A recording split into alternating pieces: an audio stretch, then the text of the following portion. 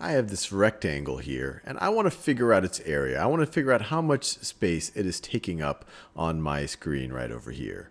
And I encourage you to pause this video and try to figure out the area of this entire rectangle. And when you do it, think about the two different ways you could do it. You could either multiply the length of the rectangle times the entire width, so just figure out the area of the entire thing, or you could separately figure out the area of this red or this purple rectangle, and then separately figure out this blue rectangle and realize that their combined areas is the exact same thing as the entire rectangle.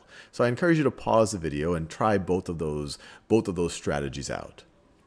So let's just try them out ourselves. First, let's look at the overall dimensions of the larger rectangle. The length is 9, and we're going to multiply that times the width.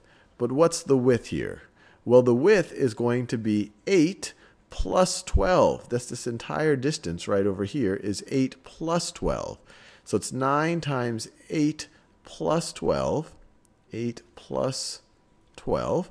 This is one way that we could figure out the area of this entire thing. This is just this is just the length times the width. 8 plus 12 is obviously going to be equal to 20.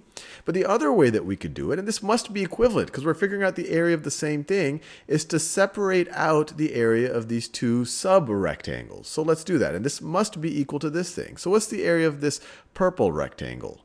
Well, it's going to be the length. It's going to be 9. Let me do it in that same color.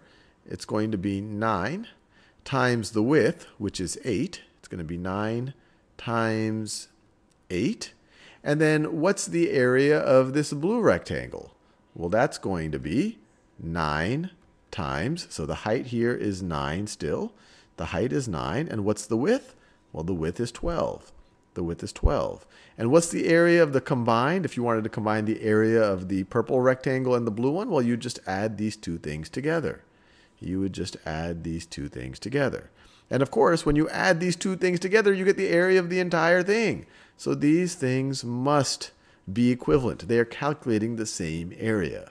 Now what's neat about this is we just kind of showed ourselves the distributive property, the distributive property when we're dealing with these numbers. You could try these out for any numbers. They'll work for any numbers because the distributive property works for any numbers.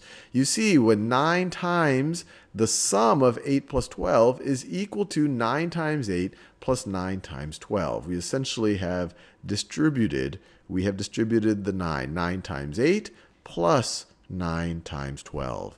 And let's actually calculate it just to, just to satisfy ourselves about the area. So if you multiply, if you multiply the length times the entire width, so that's 9 times 8 plus 12, that's the same thing as 9 times 20, which is 180. And over here, if you calculate the area of this purple, this purple rectangle, that is 9 times 8. So that is going to be equal to 72. So that is going to be equal to 72. That's the purple rectangle. Area of the blue rectangle, 9 times 12. Well, that's 108. 108. And we're going to take the sum of the two to find the area of the larger rectangle.